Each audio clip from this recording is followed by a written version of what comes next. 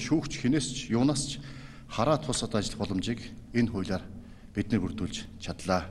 За сайн хуулийг одоо муу хэрэгжүүлж амигийн тасалтыг одоо алдаа гаргаж болохгүй гэдгийг одоо шүүгч нартаа энэ хуулиар бид сануулж байгаа. Одоо энэ хуулийн маань хувь зай шүүгч одоо нарын одоо гарт ирж байгаа. За шүүгч шүүгчтэй нөлөөлдөг дарамтлагдаг явдал энэ хуулиар бас одоо эцэс болж байгаа. Олон улсын хараат тус хараат бус хөндлөнгийн үнэлгээгээр Монгол улсын шүүхийн хараат тус байдлаараа дэлхийн 140 улсаас 120-д жагсаж байгаа нь гашуун боловч үнэн юм а. Тийм ч учраас хүн хэлбэрийн хагалгаа хийх шаардлагатай гэж дүгнсэн юм а.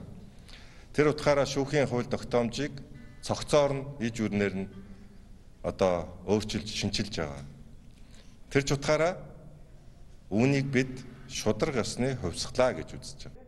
Шүүхийн тухай дөрвөн хуулийг нэгтгэж ийхүү нэг хуулийн дор зангидлаа. Энэ бол шудраг шүүхийн тогтолцоо бэхжих ирээдүгөө харсан гараа гэдгийг ажлын хэсгийн ахлагч ийхүү илэрхийлж байсан юм. Шүүхийн хуулийн шинжиллийн үр дүнг харахад 5-аас 10 жилийн хугацаа шаарддаг юм байна. Монгол улсаа төлөөлж байгаа дипломатууд гадаад харилцаа